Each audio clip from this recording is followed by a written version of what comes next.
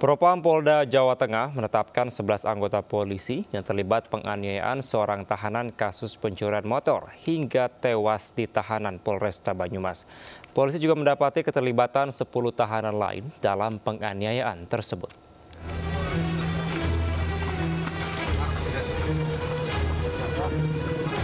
Tewasnya seorang tahanan kasus pencurian kendaraan bermotor berinisial OK, warga Banyumas berbuntut panjang.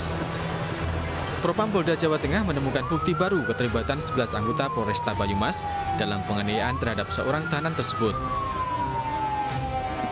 Kapolda Jawa Tengah mengakui adanya kesalahan yang dilakukan 11 anggotanya dalam penganiayaan tahanan kasus pencurian kendaraan bermotor.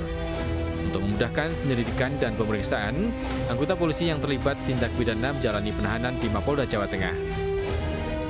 Itu adalah 11 anggota yang terlibat jadi 11 anggota ini pemeriksaan dari Propam, 4 anggota kita kenakan terkait dengan disiplin, kemudian 7 orang kita lakukan terkait dengan kode etik.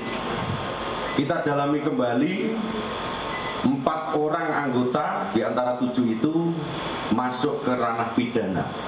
Jadi sudah bukti permulaan yang cukup anggota telah melakukan pidana yang hari ini juga sudah kita lakukan penahanan. Sebelumnya, seorang pemuda OK ditangkap polisi atas dugaan terlibat pencurian kendaraan bermotor dan ditetapkan sebagai tersangka pada pertengahan Mei.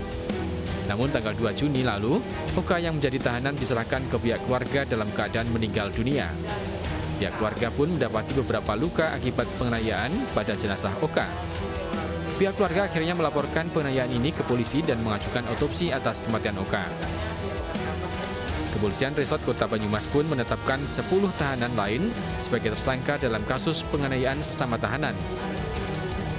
Sebulan lebih berlalu, Propam Polda Jawa Tengah yang membentuk tim penanganan kasus ini mendapati keterlibatan 11 polisi anggota Polresta Banyumas dalam penganiayaan terhadap tahanan kasus curanmor ini.